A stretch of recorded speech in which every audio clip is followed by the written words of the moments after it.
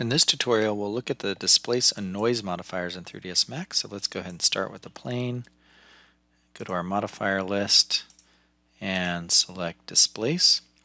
Now displace works by actually taking a map, it could be a bitmap like an image, um, and then displacing those values based on the white, gray, and black values within the image, or you can use a built-in procedural map within 3ds Max. So for example, if I select from bitmap and then I'll just go quickly to uh, a map that I've downloaded and then it will displace it based on that amount. Right now the strength is zero so you don't see anything but as I increase that strength you'll start to see the surface displace uh, in the same pattern as that picture.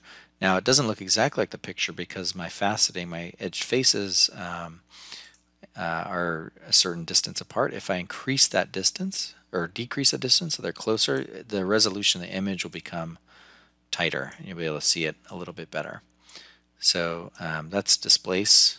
It actually is deforming the surface. So you can go and change um, the amount of displace, for example. So it's maybe it's just a little or it's a lot. It's really up to you. You can remove that bitmap and then you can also choose a map that's built into 3ds Max. So here you see you could use a noise map or gradient map. Any of these sort of things will work.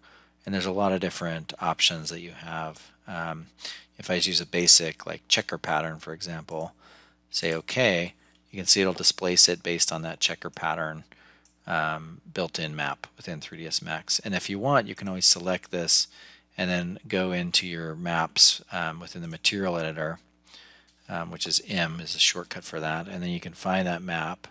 So if I go down to my scene materials here, there's the map under scene materials. I could double click and we'll get into the mapping later, but if you double click on that, you can change like the scale of the map.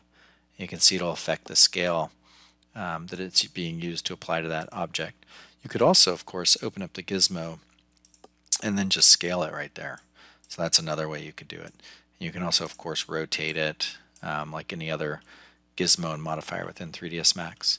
So that's a displace that uses an actual map or an image of a um, of something to displace the surface. You can also use a noise modifier, and noise uh, is a procedural map, so you don't have an image, and it just uh, basically creates a random uh, turbulence across the surface. You can see you can change the the y and the z dimensions here. Um, you can see that it's not affecting it much because the scale is so big. If I decrease the scale, you'll see it has a lot bigger effect on it. So depending on that scale, that changes the effect. And of course, the displacement the z is that dimension. Displacement in y is in the y dimension, so you can shift the y displacement, and the x is in the x direction. So uh, the noise modifier is a really good way to create a turbulent um, surface very quickly.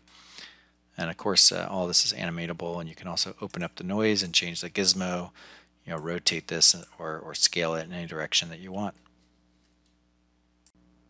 And then the last thing you can do is actually fractalize it. So if you want it to be a little more sharp um, in how it's how it's affecting the geometry, you can see it's a little bit different kind of noise pattern where it creates a fractal with the noise. So you have to change the scale to, to the appropriate number so you actually see it. So fractal is um, one option. You can change the roughness, so it's more rough or less rough. You can increase the iterations, which makes it um, you know, kind of tighter uh, noise pattern.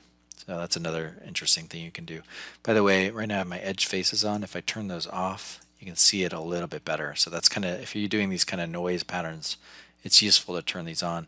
You can already imagine what this is used for. If you animate it, it could be waves in an ocean, for example. But it's a really good way to deform a surface in a really interesting way. And again, if you change the number of segments, it'll have more or less of an effect depending on how many faces you have on that surface.